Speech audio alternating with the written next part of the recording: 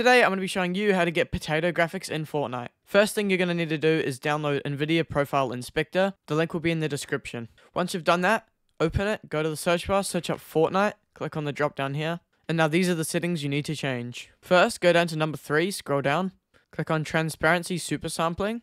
Change that to 0x008 right here. Next, go to Texture Filtering, number 4. Go to Driver Controller, turn that to off. Now the most important part, go to texture filtering, change these, both of these to this right here. I'll put the string of numbers in the description. Change both of them to this right here. You can look at it if you want and you can copy it or you can go to the description and copy it from there.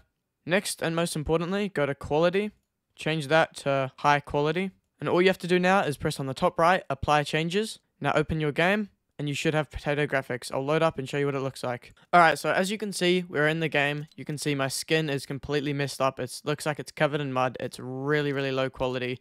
We're going to load into a creative map and start building and see what it looks like there. Alright, so here we are in the game. As you can see, the graphics are just absolutely potato graphics. I can build. The FPS is really good. And yeah, there is a few advantages to this. You can see through walls just for a little bit of time. Like you can edit it and you can see through it for a little bit.